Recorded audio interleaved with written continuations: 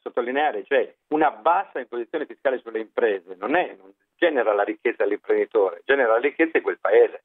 Oggi noi abbiamo un tasso di occupazione che malgrado qualche dato in miglioramento rimane bassissimo. Il nostro 56% in realtà è 10 punti sotto la media europea e 15 punti sotto la media tedesca. Allora, esatto. se ci sono pochi posti di lavoro, se il paese cresce sotto l'1% e avrebbe bisogno di altri 10 o 15 anni a questi livelli per arrivare per tornare al livello di PIL reale pre-crisi, è anche perché le imprese faticano a sviluppare.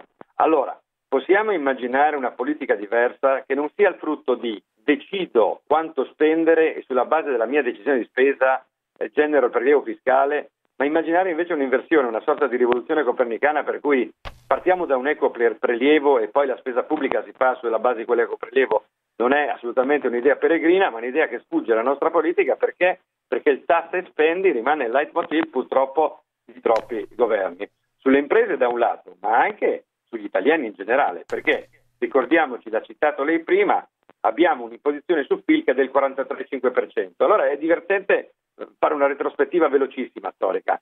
Durante il fascismo la pressione su PIL rappresentava, il prelievo ovviamente fiscale su PIL, rappresentava il 18%.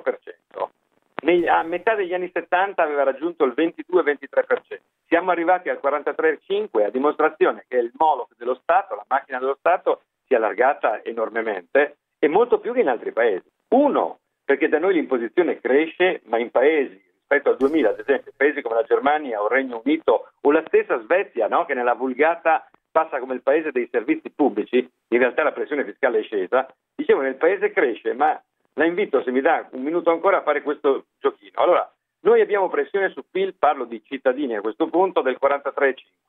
In Germania questa, il dato è OXE, è del 39,4, nel Regno Unito del 34. Allora, abbiamo provato a chiederci, ma se gli italiani pagassero le stesse tasse dei tedeschi, cioè pagassero tasse su PIL eh, di quantità analoga, beh, pagherebbero 54 miliardi in meno se le pagassero come i tedeschi, se le pagassero come gli inglesi, come gli abitanti del Regno Unito, pagherebbero 138 milioni, miliardi in meno, cioè una cifra di gran lunga superiore al deficit. Va ripensato il sistema fiscale, l'intermediazione politica va ridotta perché così sicuramente non funziona, i dati sulla crescita ce lo dicono palesemente. Questi ultimi 14 anni, cioè da che c'è l'euro per chi fa parte dell'euro, poi qui ci sono anche paesi dell'Unione Europea che non ne fanno eh, parte. Come ricordava lei, eh, i paesi che hanno visto la pressione fiscale diminuire di più, incredibilmente in testa alla graduatoria c'è la Svezia che l'ha diminuita praticamente del 6%. Esattamente, sì. E questo contro dire, l'opinione comune che immagina la Svezia prodiga in servizi pubblici che dovrebbero essere, dire, assorbenti di un'enorme quantità di risorse che invece riesce a ridurle. Ma anche l'Inghilterra, io non ho il mito certo degli inglesi, però in qualche misura sono riusciti a ridurre la spesa pubblica e nel contempo a ridurre anche l'imposizione fiscale, a dire che se si spende bene la riduzione della spesa è possibile mantenendo i servizi ed è possibile contestualmente la riduzione ovviamente del peso delle imposte, però quel paese cresce. Ricordiamoci una cosa, che dei primi paesi europei sotto i livelli di PIL 2007, eh, beh, siamo solo noi e la Spagna, Francia, Inghilterra, Germania da tempo hanno superato quel dato, con una piccola differenza però, che noi l'anno scorso siamo cresciuti di uno 0,6 del la Spagna del 3%. Allora non cresciamo, rimaniamo al di sotto del PIL, incrementiamo il debito pubblico che è comunque cresciuto di una trentina di miliardi l'anno scorso e abbiamo un peso fiscale di questo tipo, beh, io non voglio fare pronostici di default, però francamente è difficile essere ottimisti. Allora, vediamo un altro aspetto avete scelto per fare la comparazione è quello dell'equivalente, cioè il tax rate però sulle famiglie, perché a questo punto eh, allarghiamoci anche un secondo alla vita di tutti noi come persone fisiche. Di qui cosa si ricava? Ma si ricava che pensando a un nucleo tipo di due genitori che lavorano con due figli a carico, a carico diciamo la famiglia tipo, in realtà ci troviamo in una condizione che rimane di una potentissima tassazione. Cioè siamo al eh, quartultimo posto col 28 e 28%, ma ricordiamoci che la stessa famiglia in Svizzera avrebbe una percentuale sul reddito familiare lordo di tax rate che non supererebbe il 13,47%. Quindi non è cioè nemmeno cioè del 50% che... inferiore, insomma. Eh sì. Quindi non è nemmeno che si sia fatta una politica, come dire, eh, contraria al mondo imprenditoriale ma favorevole alla famiglia, tutt'altro. Peraltro anche contraria al lavoro la politica fiscale di questo Paese, perché ricordiamoci che tra il 2014 e il 2015 è cresciuto anche il cuneo fiscale che è passato dal 48, al 49 e ha guadagnato, come dire, ha guadagnato ma purtroppo perniciosamente negativo un punto. Quindi crescono le tasse sul lavoro, sulle famiglie, sulle imprese, crescono le tasse sul risparmio perché ci sono anche, come dire, le tasse sulle tasse. Noi paghiamo, eh, come dire, le imposte sul nostro reddito poi andiamo a investire per comprare una casa o andiamo a investire perché compriamo dei, dei banali prodotti finanziari e ci troviamo tassati nuovamente. C'è uno studio che pubblicherà Panorama la prossima settimana che, guardi, li anticipo, l'hanno fatto i nostri ricercatori, dice una cosa purtroppo banale ma anche terribile. Le tasse sul risparmio nel 2015 erano 6 miliardi e 900 milioni, sono diventate 15 miliardi e 100 milioni nel 2015, cioè più 8,2 miliardi eh, tasse sulle transazioni finanziarie, Tobin tax, imposte di bollo, insomma lo Stato dove può preleva denaro dalle nostre tasse. Oh, mentre vi ripetono che il problema sono gli evasori in Italia, che io non voglio difendere, però vorrei anche insomma, che ragionaste un secondo che non è vero. Il problema ai fini degli effetti di crescita è come si interviene su un sistema fiscale.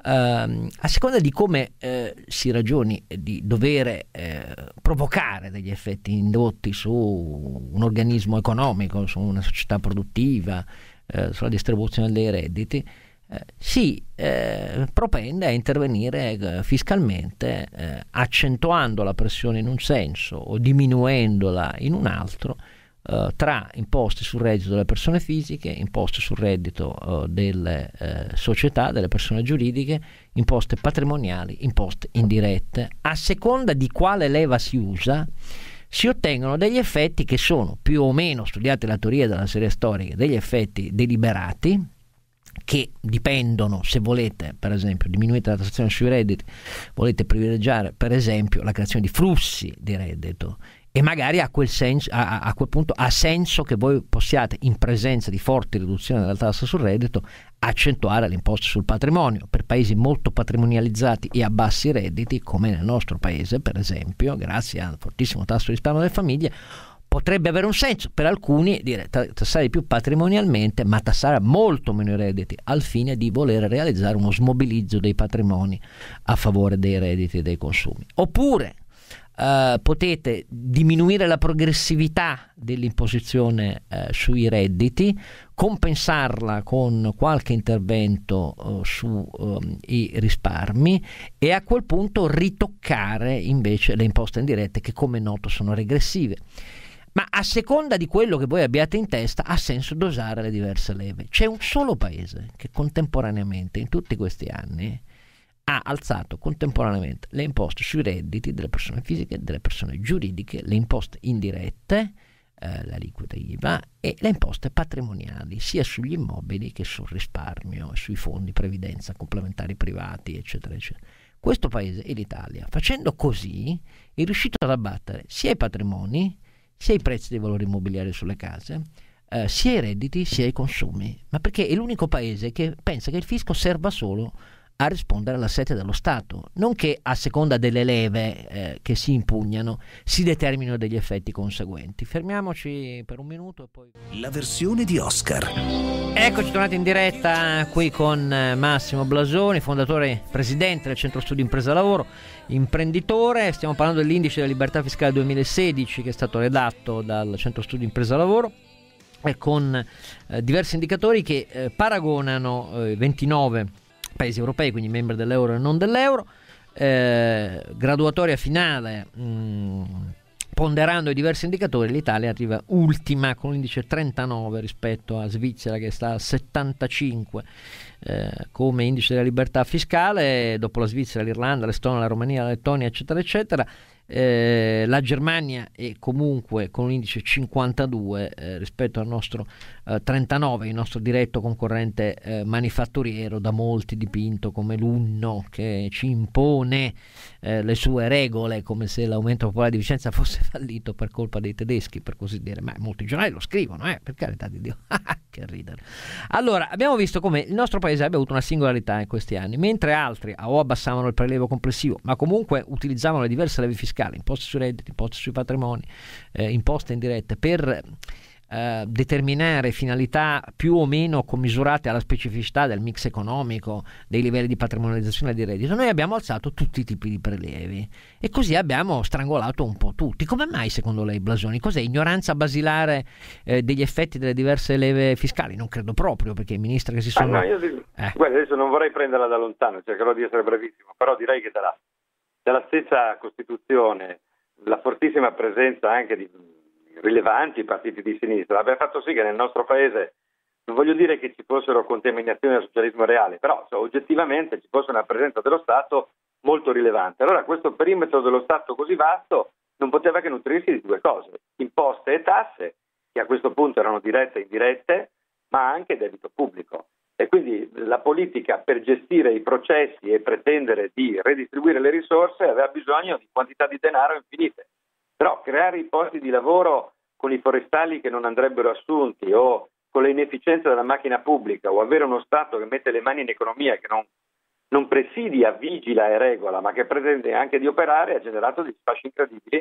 Solo che a risolvere questi sfasci eh, non si è adottata la misura contrapposta di ridurre le tasse, provare a ridurre il perimetro dello Stato, ma di volta in volta si è rilanciato aumentando il debito, che continua ad aumentare, e aumentando le imposte.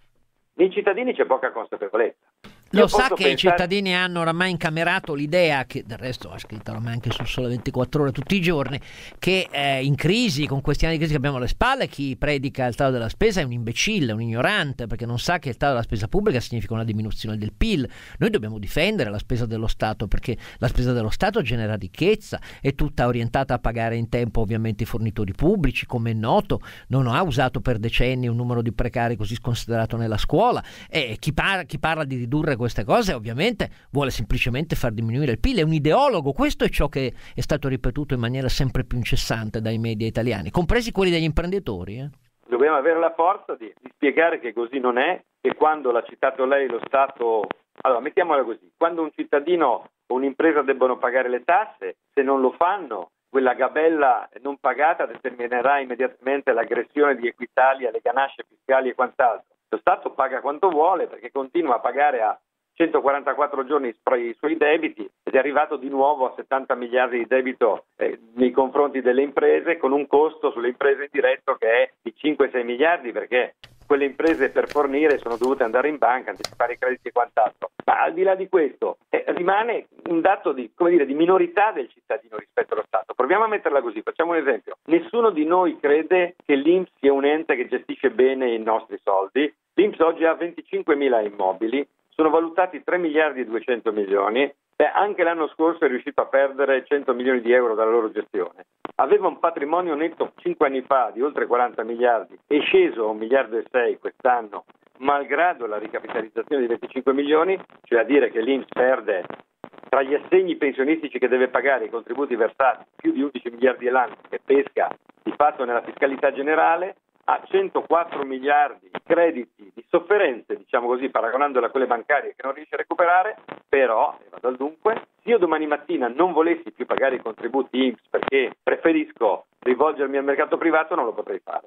Eh allora bisogna spiegare ai cittadini che lo Stato non è un molo pervasivo, ma che forse abbiamo il diritto di chiedere che sia meno esteso e di chiedere che con efficienza i nostri soldi, come dire, possiamo talvolta gestirli direttamente e che l'attività di redistribuzione deve avvenire in alcune situazioni, come dire, a sostegno dei più deboli, ma non deve essere il tentativo di raccogliere consenso, non deve essere il tentativo di risolvere i problemi dell'occupazione in maniera del tutto, come dire, errata. No, ma anche perché poi, voglio dire, la, la, la finalità a sostegno dei più deboli nostro paese noi in realtà uno strumento universale di lotta alla povertà non ce l'abbiamo, cioè la redistribuzione la facciamo eh, come nel caso degli 80 euro eh, a favore di chi magari un reddito ce l'aveva, ma non erano i pensionati al minimo e non erano coloro che sono sotto la soglia di incapienza. Quindi io contesto anche il fatto che la redistribuzione pubblica serva davvero a chi ne ha bisogno, perché i fatti dicono che non è vero, infatti le soglie di povertà relativa al sud sono cresciute in questi anni, quindi è una questione politica, spesso la redistribuzione distribuzione è fatta strizzando l'occhio